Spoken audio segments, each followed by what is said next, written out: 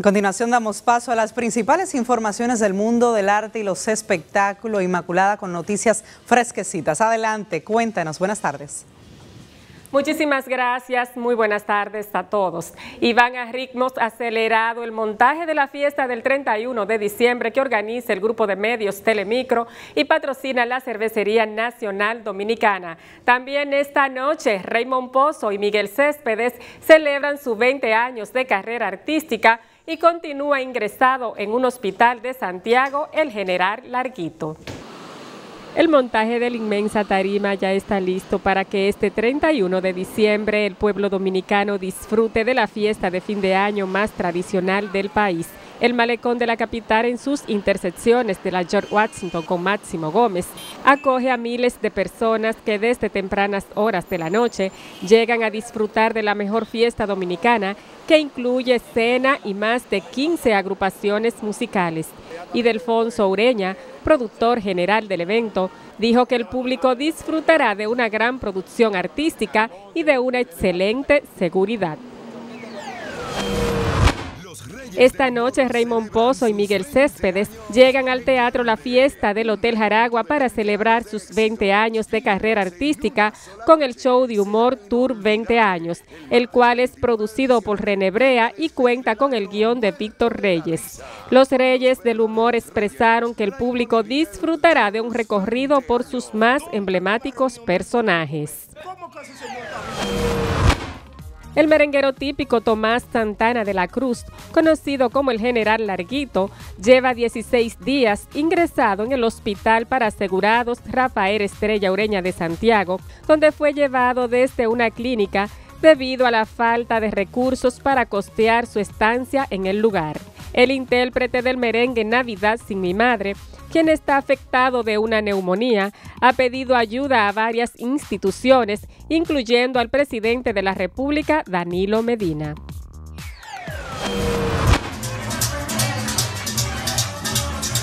Y el nieto del fenecido guirero Pablito Barriga hizo una demostración de un talento único con la guira a su tío abuelo Johnny Ventura. Jaden, de seis años, toca el instrumento con una destreza extraordinaria. Luego de la muerte de su abuelo, el niño decidió buscar los videos de Pablito en YouTube y comenzó a tocar la guira y a imitar a su abuelo.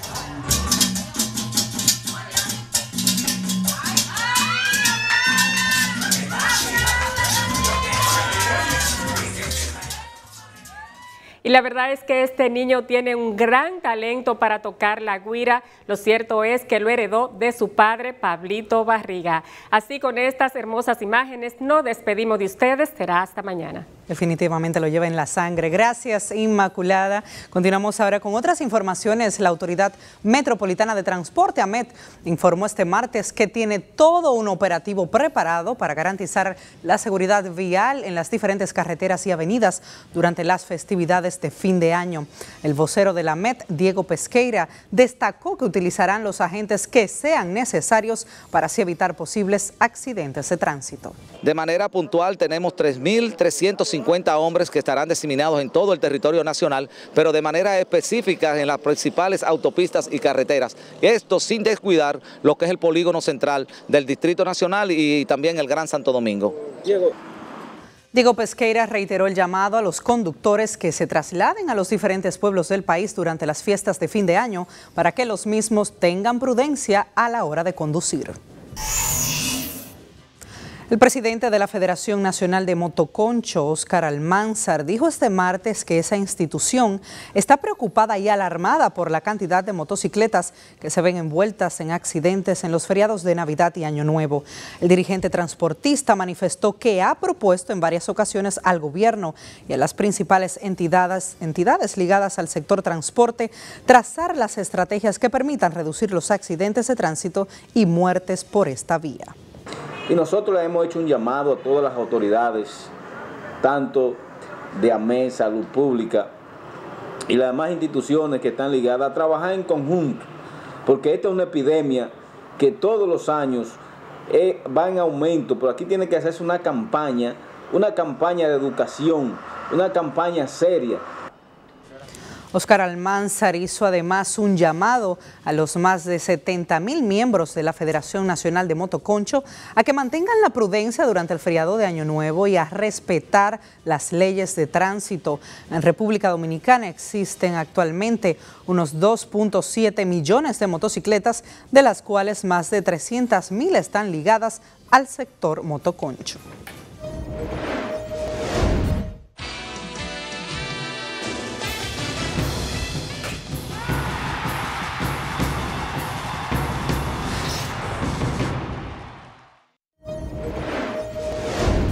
Y hoy, como siempre, tenemos importantísimas informaciones en el ámbito deportivo. Está por aquí el que más sabe de deportes, Ildefonso Ureña. Buenas tardes, adelante.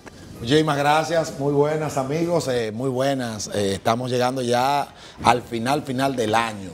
Eh, vi hace un momentito una información ahí del presidente de la, de la Junta de Motoconchistas. Pienso que lo primero que hay que hacer es a los integrantes del gremio pedirle que por favor respeten mínimamente eh, a los demás. ¿Qué significa eso?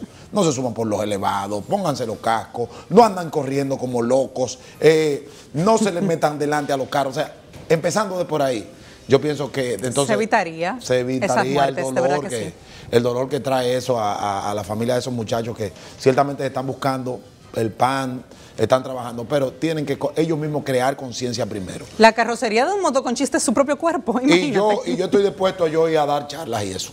Ah, pues está. Ellos invitan a la educación. Voy con el director de prensa, con Domingo del Pilar, con el director. Bien, vamos a los deportes. Miren, eh, los Leones del Escogido no creen en nadie. Han comenzado con todo y gatera, 2 y 0 en contra de los demás equipos que están en el round robin. Los Tigres consiguieron su primera victoria, los Toros su primera victoria, pero las Estrellas Orientales no comienzan a brillar. Ayer el partido entre Tigres y Toros, los Toros estaban ganando el partido 1 por 0, pero de ahí en adelante comenzaron los bates azules. Domingo Santana conectó doblete que iba a ser suficiente para que los Tigres tomaran el comando del partido 2 por 0 y ahí en adelante no ceder nada. Los Tigres contaron con buen picheo, con buen bateo y esto se traduce obviamente en victoria. Los Tigres del Licey ganaron siete carreras por una a los Toros en la Romana.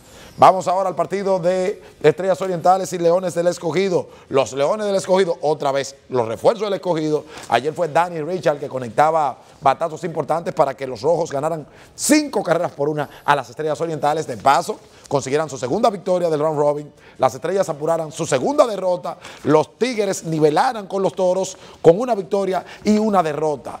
Cada partido cuenta aquí en esta parte del de, eh, round robin. Cada partido cuenta y recuerden que son 18 encuentros mañana.